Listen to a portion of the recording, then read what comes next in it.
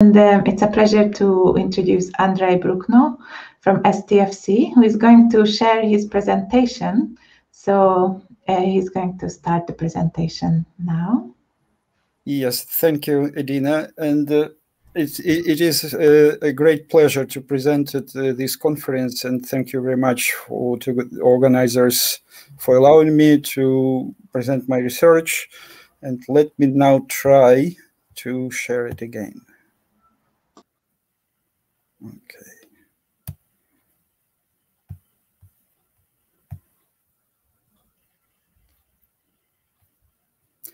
So this will be half pre-recorded uh, presentation with narrations, but then I will have to switch to videos. So halfway, I will switch to the videos and uh, then talk leave.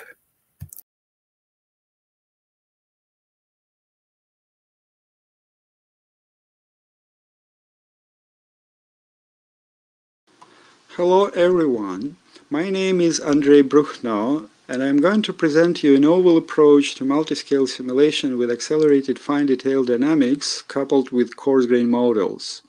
I work in computational chemistry group led by Ilian Todorov, SciTech Daresbury. As you may know, Daresbury village is located in Cheshire and Cheshire is the motherland of a very well-known girl, Alice, but most importantly of Cheshire Cat. It is important for me because interscale modeling, as you probably will see later, follows Cheshire Cat's way of living. And I hope that by, by the end of this talk, you won't consider me as mad as most of the creatures in Lewis Carroll's novels.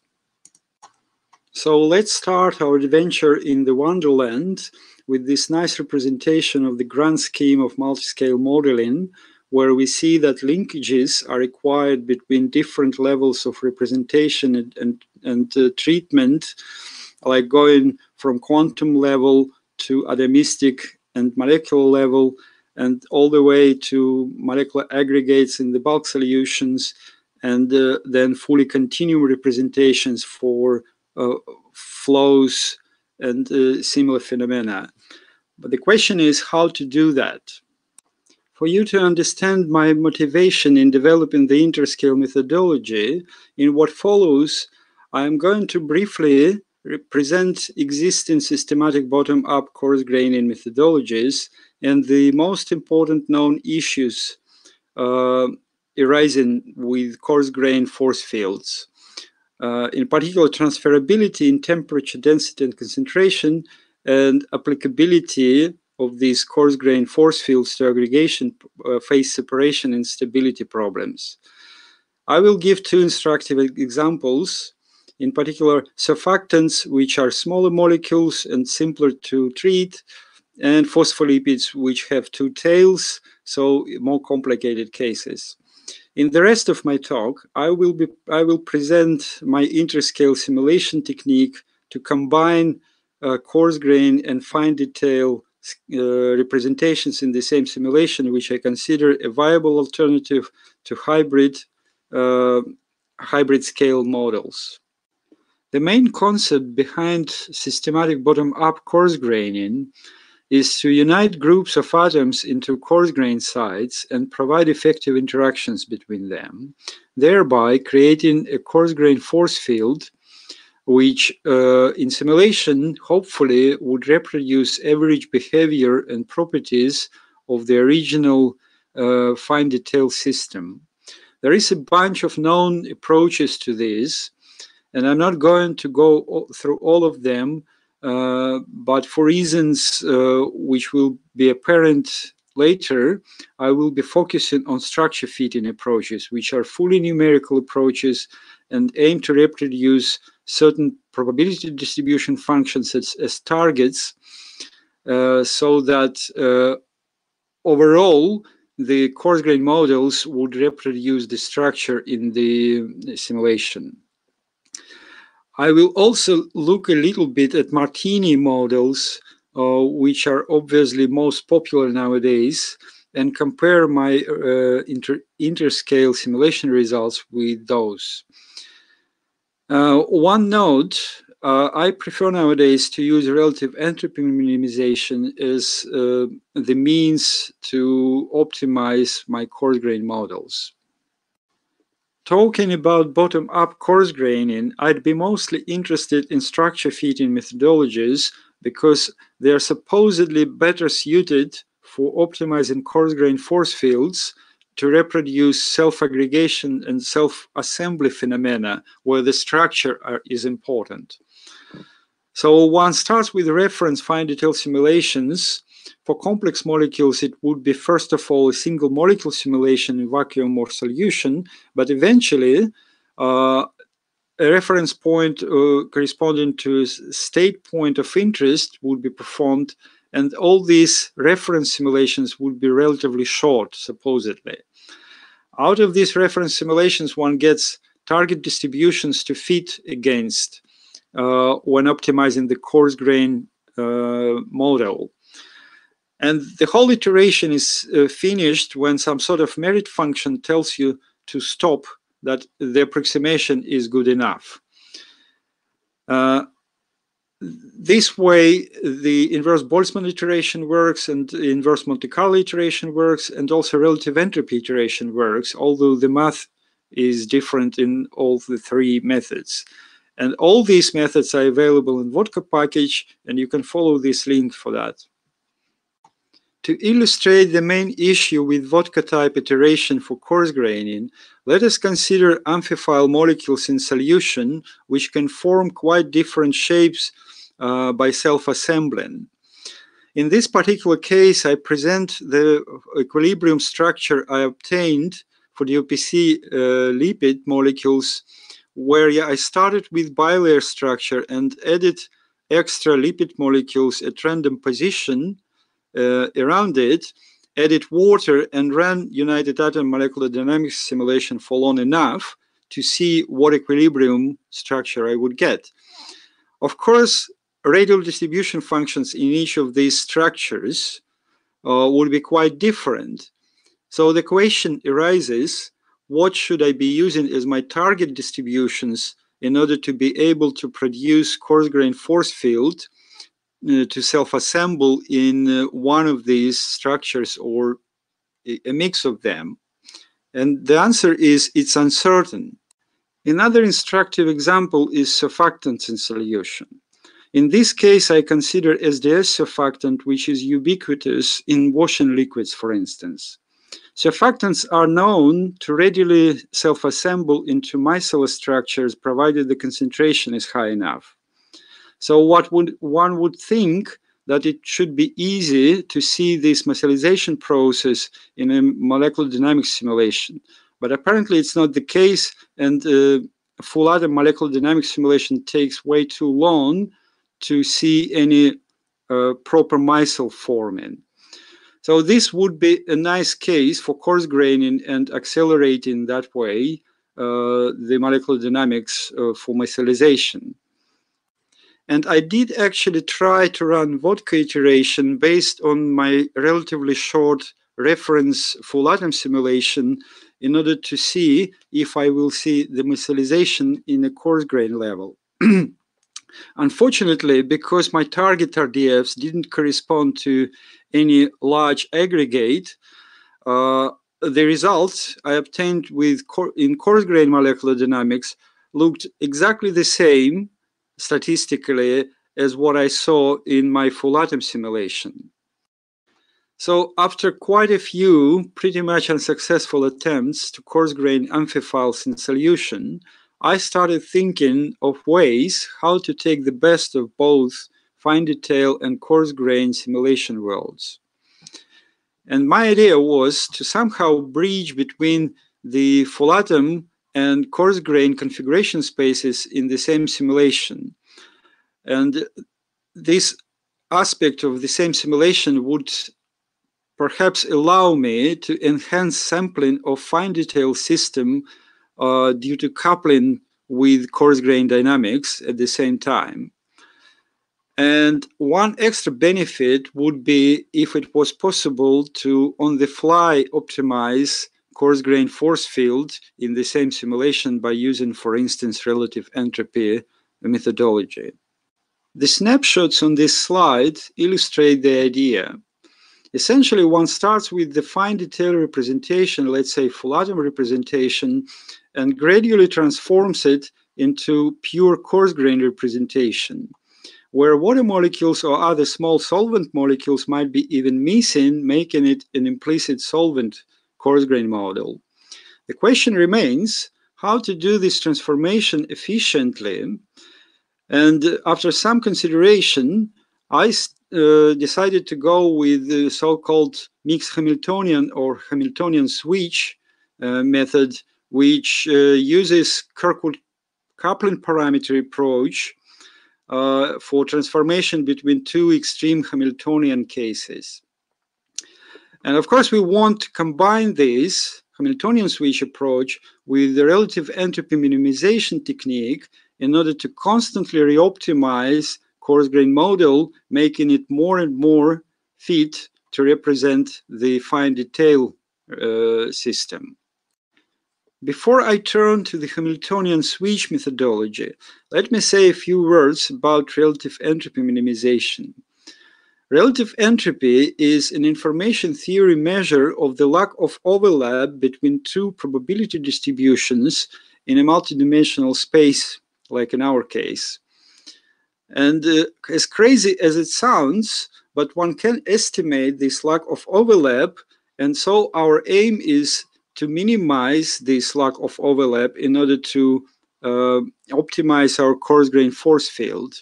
And of course, the condition for minimizing relative entropy is that its derivatives with respect to each parameter in our coarse grain model should go to zero.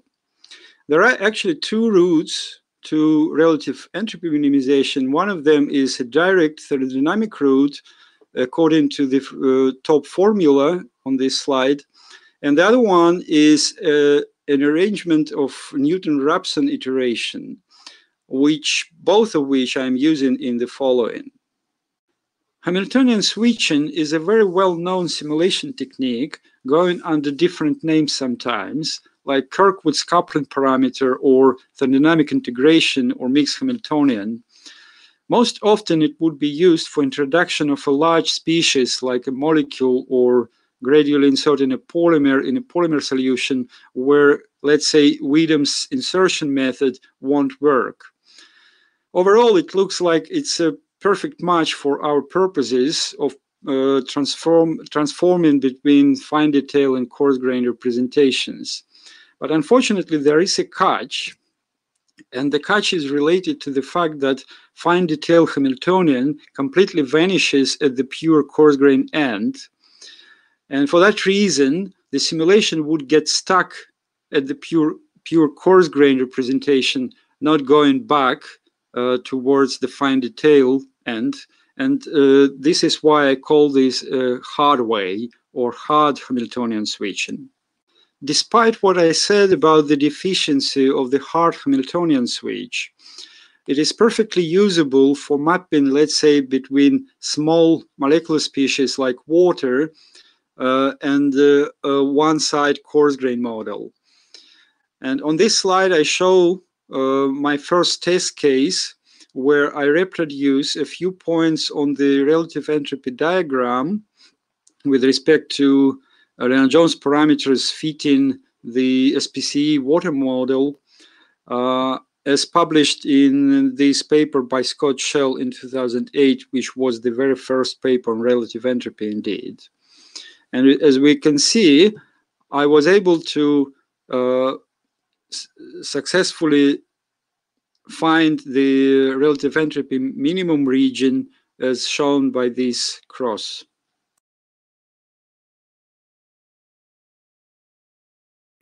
So here I switch. And I just say we have five minutes left uh, the questions. Okay, that's fine. That's fine.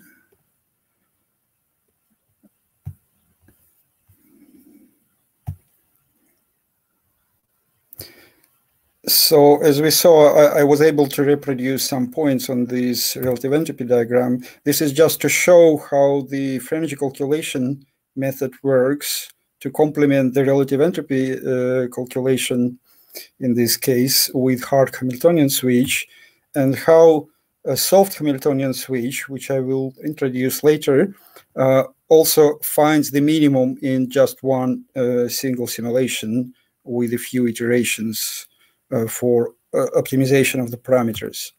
So this is the soft Hamiltonian switch, but I'm going to, just to keep my time, I'm going to switch um, through it. Uh, it is the intermediate version of it, so it has the same problem, which we saw with the hard one, similar problem.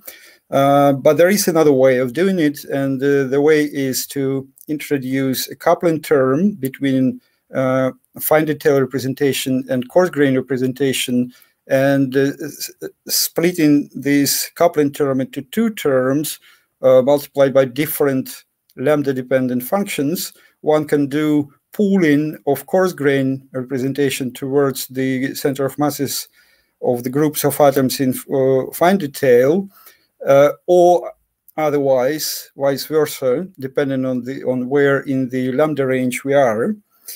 And this way, uh, I avoid that black hole or ideal gas problem I mentioned before. So here I will show now you a video how it helps the aggregation problem. Um, let me just move it a little bit so I can start it. Okay.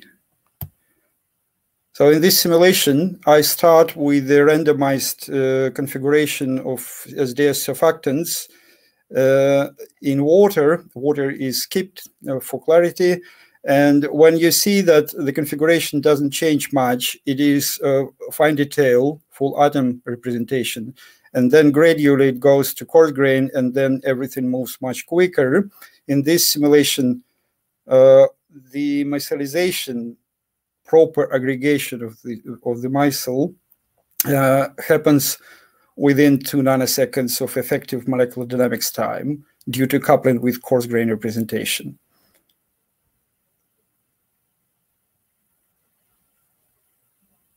I can speed it up, of course.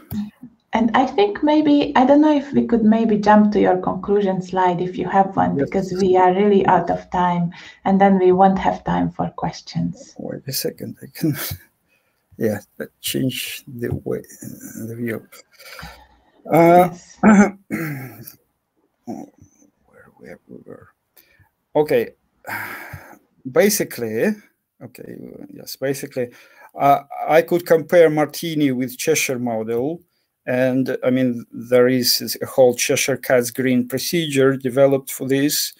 And if we compare Martini, there are much more discrepancies with Martini model if we're simulating uh, lipid bilayer.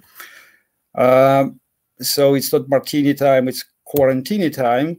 But with Cheshire model, I have much better uh, correspondence with United Atom uh, simulation. Uh, I skip the video in interscale where I I have agile Cheshire model, meaning that iterations for optimization are going on during the simulation. I have also similar result. Uh, it's also possible to apply the technique to DPD uh, representing Lennard-Jones or, or vice versa. And essentially, we are working on doing this step now. And after that, I just want, would like to acknowledge my peers and uh, especially uh, the group, uh, uh the group leader, Elin, and um, another person in Hartree Center, uh, Richard Anderson, who supported this research through Hartree Center project and also CCP5 support and other my colleagues and uh, support from SCARF and Archer HPC facilities. Thank you very much for your attention. And if there are any questions, I would be ready to. Thank you. Thank join. you very much for this talk. And uh, I think I can already show you a question here. And uh, should I stop sharing, by the way? Yes. Uh, uh actually, I think uh, people can now see uh, Yes, people can now see uh, the question. So how do you map the coarse grain model back to the atomic model on the fly on in DMD simulations? Okay, mean, the mapping, everything is done in DL Poly package right now. Uh, the mapping I'm using is very similar to Martini, but uh, after a few, a few, unsuccessful attempts with DOPC lipid, for instance, Martini model uh, actually has a bit too bulky beads. So when I map it uh, onto my United Atom uh, configuration, I have quite a few uh, overlaps between beads because, again, when you run pure Martini simulation, there are no overlaps because it is equilibrating with respect to itself. But if you try to map it directly on the center of masses, there will be overlaps. So I had to introduce my own model with 16 beads, which goes much better. And then if comparing those two models, I see that Martini actually overestimates sigma and essentially it overestimates two times epsilon as well. So there is a lot of cancellation of error going on with Martini. Thank you. And Otello, uh, did this answer your question? Yes, it does. Thank you so much.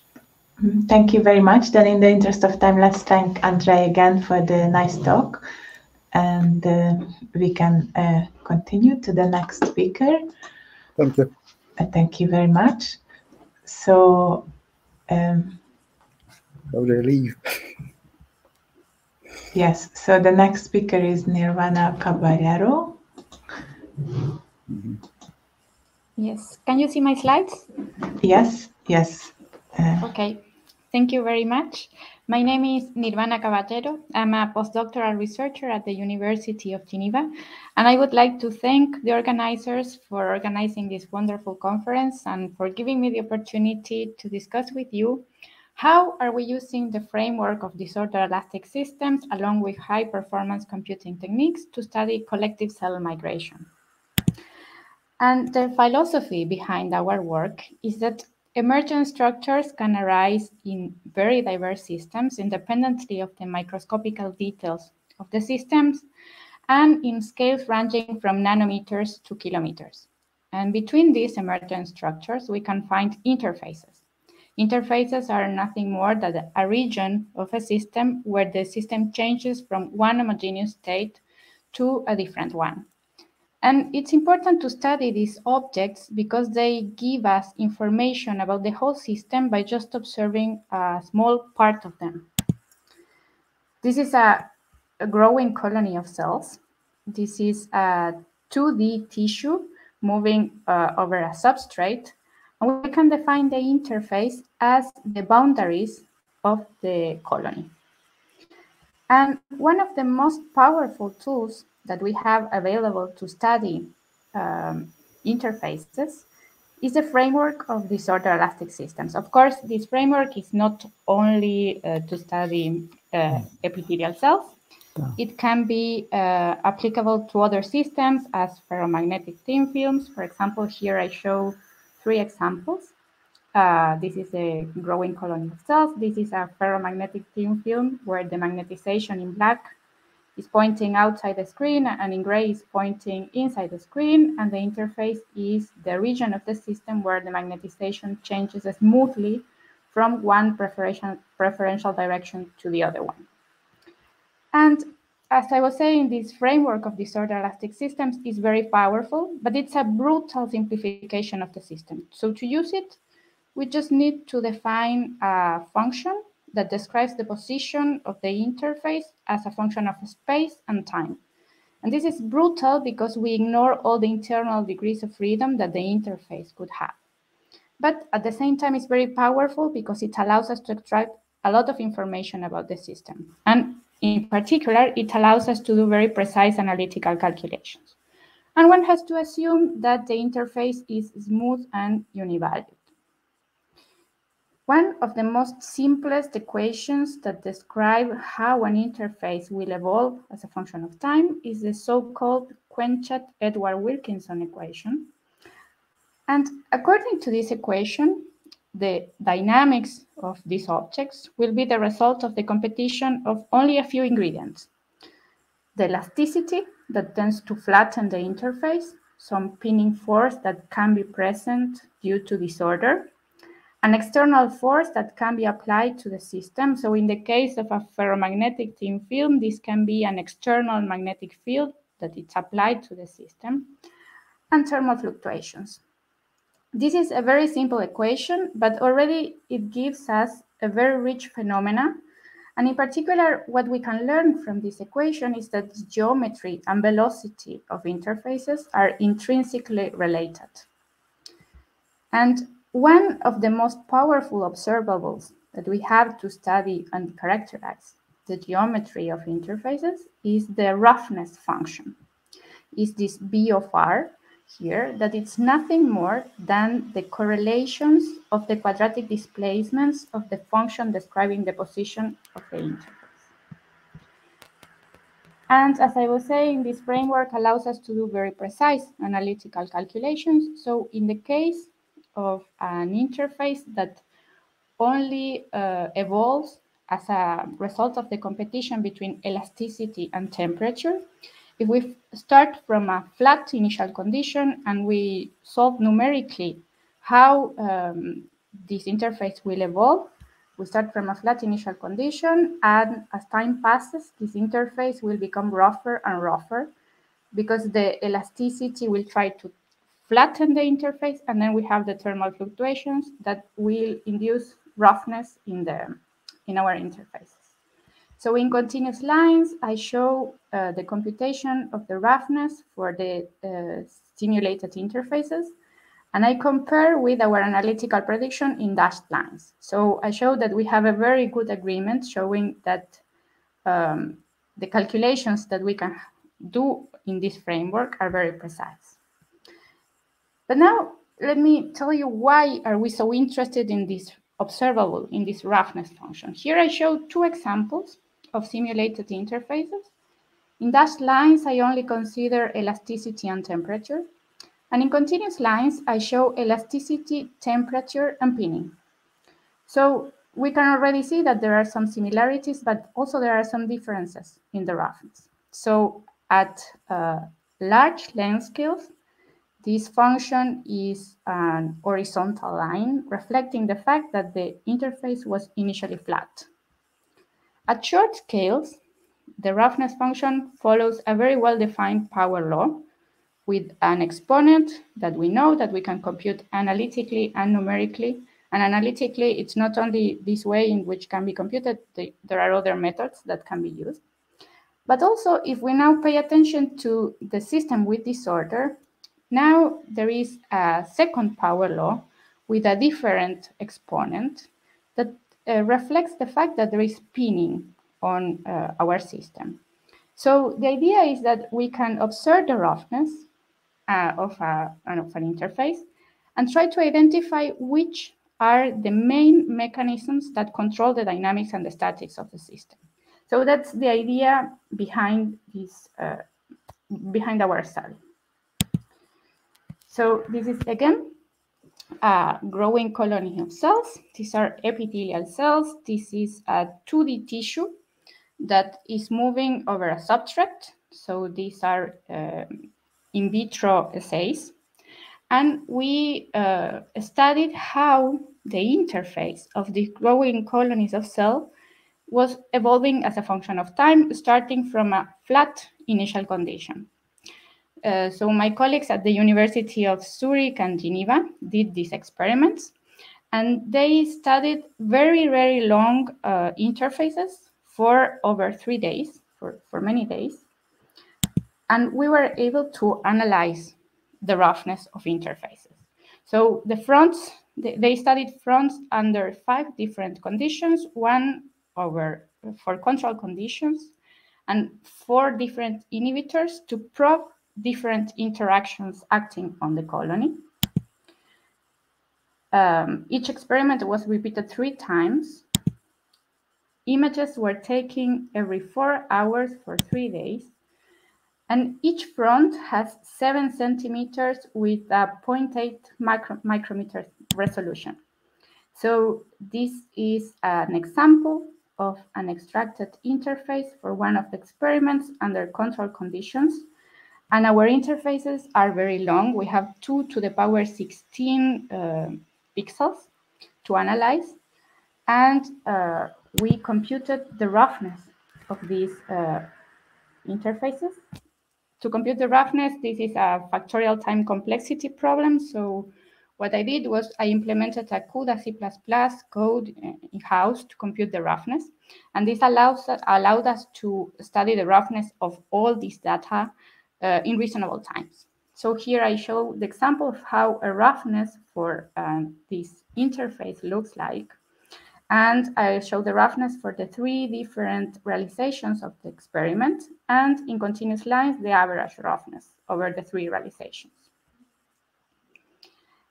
And this is how the roughness looks like for the experiments under control conditions. We start from a flat initial condition and the first roughness that we obtain is after four hours. And then we follow this here in this plot. I show the roughness for over 40 hours. And we are already by eye, we can see that there is a very well-defined power law at short scales of the typical cell size. And then it's also remarkable that we can see that there is an horizontal part at large length scales, reflecting the fact that the interface was initially flat. So, but then to see if there was another kind of uh, power law reflecting other interactions in the colony, we did the following analysis. We took the roughness function we fixed an initial position um, to start a fit with a power law. And we also fixed, uh, fixed a window size in equivalent uh, of equivalent size uh, in a logarithmic scale. And we did the fit of the data with a power law and we computed the roughness of the fit through R square. And we did the analysis for different values of RA and uh, WI. And this is how the goodness of the fit looks like. Um, I have to emphasize that the goodness of the fit is close to one if the function is very well fitted with the power law, and if not, it will be lower. And here in yellow, we can see that there is um, very high value of R square for uh, large length scales, reflecting the fact that we were um, starting the front from a flat initial condition. And then at short scales, we also have a maxima reflecting the fact that what we could see already by eye, and it's that at short length scales uh, of the size of a typical cell size, we can uh, fit very well the roughness with a power law. But then we found another maxima uh, at intermediate scales. It's around uh, four cells distance and expanding over uh, five cells. There is a this second region where we can fit the roughness very well with the second power law. So um, we studied different cases as I said, to probe how different interactions affect the roughness of a colony, uh, so we have information about how to model these systems. That was the whole question. Um, my colleagues put different drugs, uh, colchicine that targets cell division rates, cytochalasin B that inhibits cell motility and transmission of mechanical forces, meclofenamic acid that disrupts uh, electrochemical signal transmission that means that disrupts some uh, types of cell-cell communication, forskolin that globally affects the cell metabolism. And we studied, for example, first the dynamics of the, of the cell colonies. And we, when we compute the average colony depth as a function of time, we see that in green, there is there are the results for the control conditions, and we see that different drugs really change how the dynamics of the cell fronts behave. In particular, I would like to emphasize that cytochalasin B and colchicine decrease the front velocity. This was somehow expected because one of the inhibitors targets cell division rates and the other inhibits cell motility. So there was nothing surprising about that. But what was surprising is that, for example, meclofenamic acid and forskolin increase the front velocity. And in particular for meclofenamic acid, that we are interrupting certain type of cell-cell communication. And with that, the front uh, goes faster. Um, but also, we could analyze um, the roughness function of the cell fronts under different inhibitors. And in particular, we analyzed what happens with the roughness in these two regions that we identified. Of course, in all cases, we see at large length scales this horizontal roughness that reflects the fact that the interfaces were all uh, flat initially. And we fit with the power law these two regions that we identify with the method I just described. And in particular, here I will focus on only two cases of the inhibitors, but we analyzed all of them. Uh, in green, I show um, the roughness exponent, the power law exponent for uh, region one and region two. And I also show in purple uh, what we observe for meclofenamic acid and in blue for cytochalasin B. And in the three cases that I show here, we see that the two regions have very different uh, roughness exponents, but they are not very, in particular at short uh, length scales, which are of the uh, typical size of a cell, uh, we don't see many variations of the roughness exponent. We see a roughness exponent which is 0.6, but then what is remarkable that this, in the second region, we see a much lower roughness exponent. And there is not much evolution as a function of time when uh, the interfaces evolve. And of course, we can also measure, besides of the power law, we can measure the prefactor of the roughness exponent. The prefactor is something that is increasing as a function of time. And this is a measure of how the um, interfaces become rougher too the, the prefactor uh, of the power law. Already by eye, we can see that in the four cases that I show here, the um, interfaces look very different. But with the roughness, we can characterize how different are these um, fronts. And we see that um, the interfaces become rougher as time passes in both regions. In region one that I'm showing uh, on my left and in region two that I'm showing on my right. And we see that there is an evolution of the roughness. So, uh, and we also see that those fronts that go faster become rougher too. So um, we, our idea is to try to find a proper model uh, to model what which are the main interactions that are present and are controlling how cells migrate. So one of the most common uh, models in the literature is the so-called vertex model. So in this model, we consider that cells are composed of, of six vertex, and it's based on energy minimization. And we, we consider that uh, each cell has a preferred cell area which is something that we can measure in average for because we have the images in our experiments. Uh, and we have to define the elasticity, which was uh, chosen to reproduce mechanical properties in other works, not in our work. We have a preferred cell perimeter and a line tension along cell-cell junctions. And we again can reproduce the experimental protocol with this uh, model we start from a regular initial condition. Uh, so we have the uh, a flat interface. Nirvana, maybe I just like to remind you that uh, if you wanted to have five minutes for your questions, then you have no more time. Ah, okay, yes. So I will just say that with this simple model, we couldn't reproduce, we obtained the roughness function of these interfaces. And we could, of course, at short length scales, since we don't have any fluctuations, we were not expecting to have a power law. But in the second region, where in, we observed a second power law in the experiments, with this kind of model, we couldn't reproduce such, such low roughness exponents. So this means that we need other models, and we're working on them to, to try to find uh, the same roughness that we observed for the experiments. And with that, I would like to thank all my collaborators, and I let you with the conclusions, and I will be happy to answer your questions if there are some. Thank you very much. Uh, thank you very much for the interesting presentation.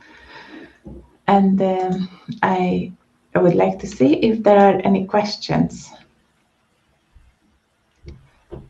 Uh, I do not see any questions at the moment, and we are quite out of time. So I, I would maybe suggest that if somebody has questions, you could chat directly to uh, Nirvana and you can find her in the people in the session, for example, and then write a personal chat, or in any other way, you can contact her uh, by searching overall in the in the meeting uh, participant list. So I, I, really suggest to get in touch with her. And uh, then, in the interest of time, I would like to continue with the next speaker, Francois Sicard, who is at UCL.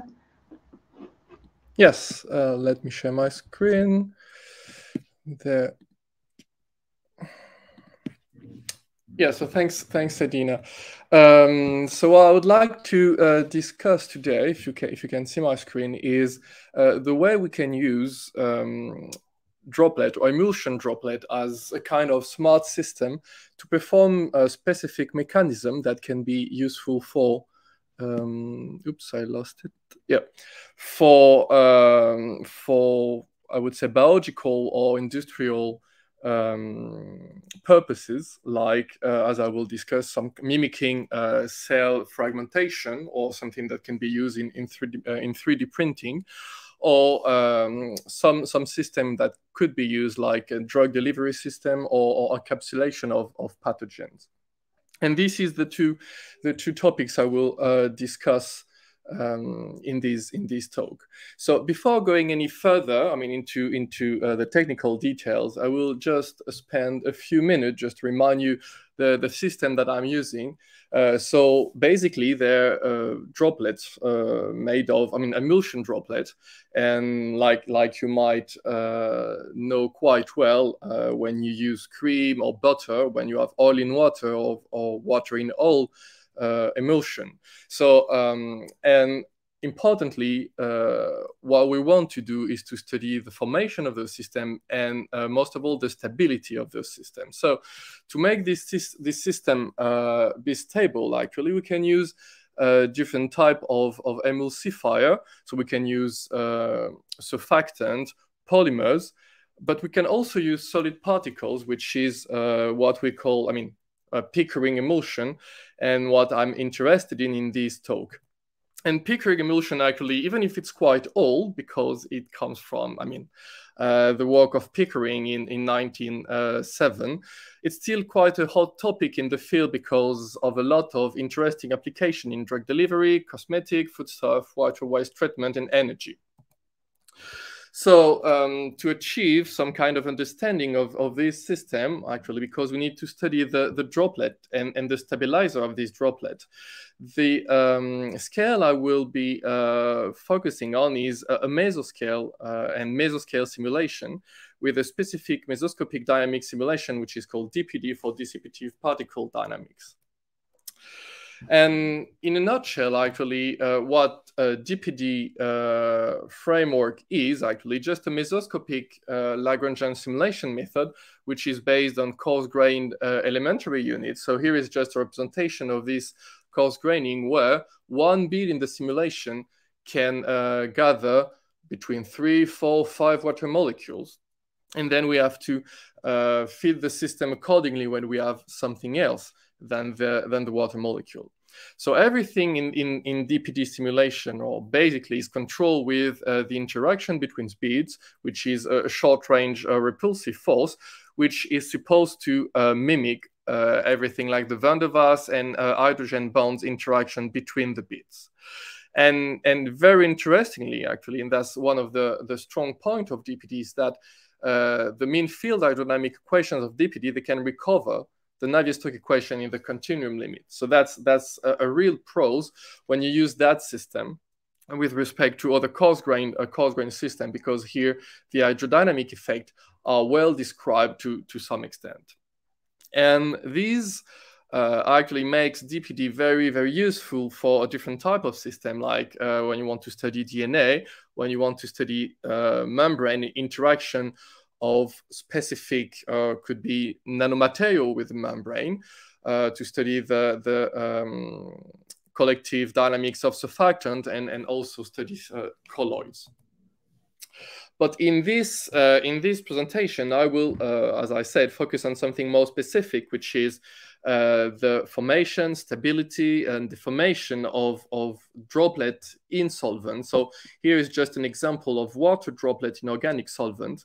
Uh, and you can't see the organic solvent for clarity, but what you can see in pink, so the pink beads, which are blue here actually, uh, those are the water molecule. Uh, and in this representation, one water bead uh, um, consists in four water molecule. And those water droplets actually stabilize with solid particles that you can see here, which are made also of beads in this uh, DPD representation. And here is the type of nanoparticle I, I will be using in, uh, in the following. So they could be either uh, homogeneous nanoparticle that you can see on the left. And it's homogeneous because this nanoparticle is made of hydrophilic and hydrophobic beads. Or it can be a Janus particle, which is the one on the right, which is half hydrophilic and half hydrophobic. And for each nanoparticle, because they evolve at the interface of the water droplet, one uh, parameter we use to describe their uh, stability or thermodynamic property or wettability is their contact angle. And just um, uh, to say that this contact angle actually is uh, give the maximal stability of the system when it's close to 90 degree, which is mean that the system or the particle can interact um, with the water and the, the organic solvent in this case in an equilibrium way. So based on this introduction that we're interested in uh, droplets and the stability of those droplets, let's see now what kind of mechanism we, we can study uh, through this uh, mesoscopic framework. And the first one I want to, to show or discuss a bit is what can we understand from fragmentation or self-division of uh, one, uh, one uh, droplet. And this is particularly interesting because droplets or emulsion droplets are well known to be a very good candidate to study some kind of biological mechanism because they can reproduce the, mechan the, the, division mechanism of, of protocells. So this is a work, I mean, which has been published in 2017 from uh, a different group. And actually in this simulation, they were studying, a, they were using a continuous model to study uh, the division or the self-division of, of water droplet. But in our case, we'll use uh, some kind of mesoscopic approach, will give us some uh, kind of information or different kind of information regarding this mechanism. And actually, so of course, because it's a mesoscopic model, we are limited in size with what we can study.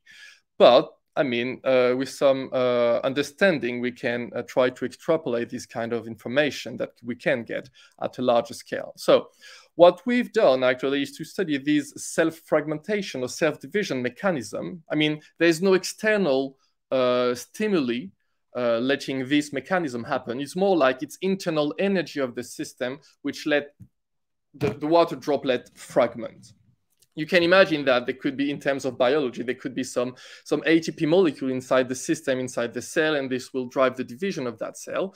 Uh, in our case actually to mimic this there's no real atp molecule or real energy inside the water droplet. It's more like we will use an enhanced sampling technique like metadynamics or umbrella sampling and a specific collective variable to reproduce that mechanism. And what we've done actually is just to reproduce this self fragmentation mechanism in the bare case, so without any um, armor around the droplet, and try to reproduce or analyze, compare this kind of division when the, the droplet is stabilized with two different type of Janus of nanoparticle, one which is Janus and one which is homogeneous, which means that the chemistry of the nanoparticle is different. And what we've measured and, and discussed actually is that, well, if this uh, energy is the, the free energy which follows the, the, the, division of the droplet, and NC is the number of contact between what? Between the mother droplet and the daughter droplet, then we can measure exactly how much energy you need to fragment this system. So imagine that here's the number of contact between the two. It starts at a certain number, and then uh, the, the droplet progressively fragments to end up with a mother and a daughter. And what we see that if we measure these energy when the droplet is stabilized with Janus particle or with homogeneous particle, then we see a clear difference in the energy you need to give to the system internally to get these uh, fragmentation mechanism happen. So we did measure actually the difference that we have between the, the energy we have when the system is a bare system and when the system is coated. And actually, this is the order of magnitude of the energy we measured. I mean, we can give this, I mean, we related this in terms of ATP uh, molecule energy, just to say maybe in a real system, a biological system, that's something we might uh, think about. Uh, but also, we realized that there were two different, uh, also a difference in energy between the division when the droplet is stabilized with Janus homogeneous particle. And actually, this difference in energy can be well explained by the fact that when you use Janus particle, which is half hydrophilic and half hydrophobic, then there's a preferential orientation of the nanoparticle at the interface, which means that here we have more flexibility when we use a homogeneous particle to let the system fragment. And this has a cost in terms of, of fragmentation energy. And the other thing we've checked, and which is completely independent of the, the DPD uh, simulation, is the difference between the Gibbs free energy we might measure for the fragmentation when we don't take into account the surface, um, the, the Tolman correction, which is an effect of curvature, and the one we have in the real simulation. So this uh, formula is the dashed line, and the bold line is the one we get from the simulation. And, and if we compare these two energy, the, the dashed line and the bold line, actually we can have, we can measure the value of the Tolman length, which can also be measured from, from experiment. And actually we end up with a value of delta, which is very close to the original value proposed by Tolman in his um, original paper. So and we were quite happy to have this value, to double check this value just because this is independent of DPD simulation, and that would assess a bit more the value for this Tolman correction. So another effect I want to discuss very, um, very quickly is, um, and another mechanism we can achieve with, with the water droplet in uh, organic solvent or organic droplet in water solvent is their ability to encapsulate and release a payload under flow conditions. So this kind of mechanism, something will be encapsulated inside the droplet and maybe released under uh, shear stress, as you can get when you have an occlusion in, uh, in an artery.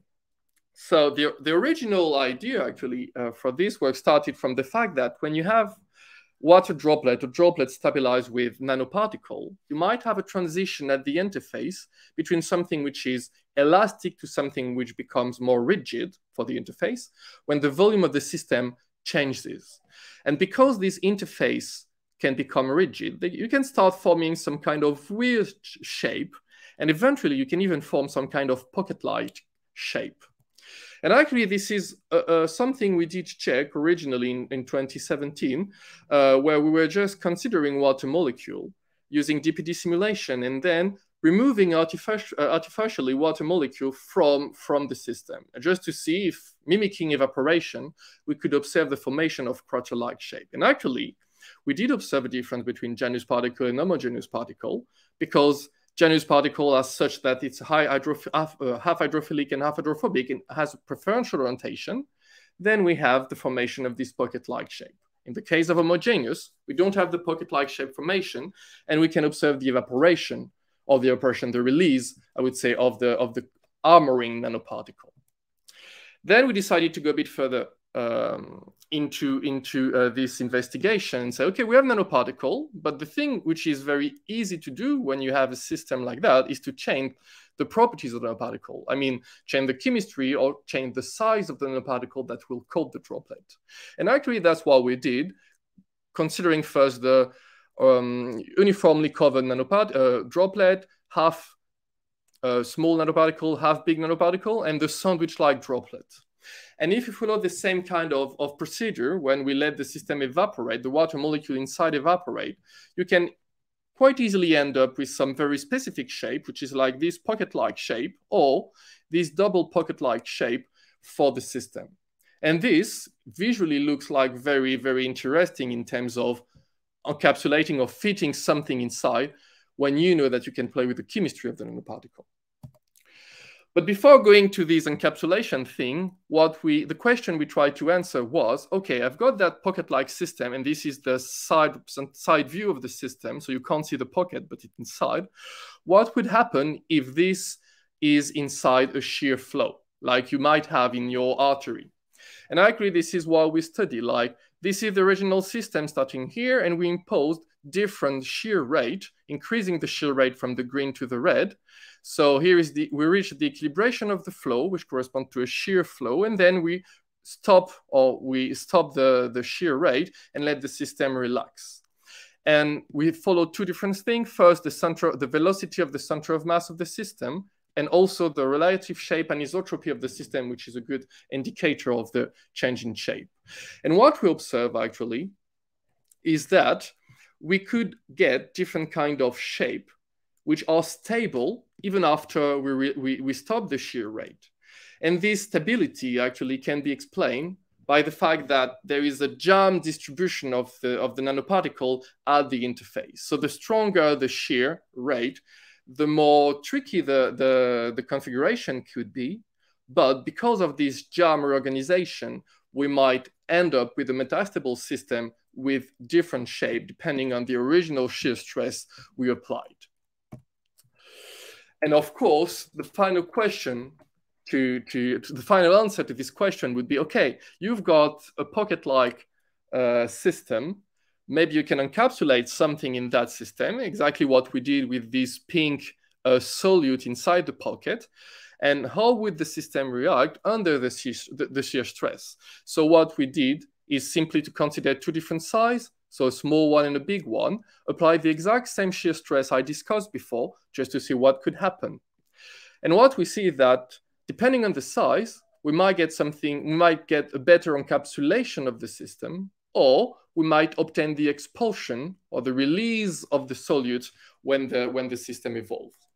Which is quite good because if you think in terms of, of drug delivery or, or pathogen encapsulation, you can easily work with both of these of these uh, mechanism depending on the size of what you want to encapsulate and the size of the pocket. So to end up with this, this discussion, actually, the, the thing is, because we have the droplet that can be uh, armored with nanoparticle and those nanoparticles can be functionalized, the thing is that you can functionalize them in such a way that they can be better at targeting something, they can have better responsiveness to external stimuli, or they can also be active in terms of propulsion of the system. And that's why we can talk about some kind of soft nanorobot to, to deliver drugs or to encapsulate pathogens. And, and just uh, to illustrate this kind of thing is that if you consider this original system, which are on this left uh, part of the picture, in a shear rate which is not too strong. And if you start increasing the shear rate, what you might observe is maybe this kind of system or evolution when the, the solute might be released from the pocket. And because in an artery, when there's an occlusion, you have an increase in the shear rate first be before having something which is more, um, more tricky, you might imagine that this system might be able to release a specific drug when there is a specific occlusion in an artery. And with this, I'd like to, to thank you for your for your attention. I'd like to thank also my, my collaborators, uh, Ran and, and Alberto, uh, with this uh, with this work. And I'd like to thank the Archer uh, team.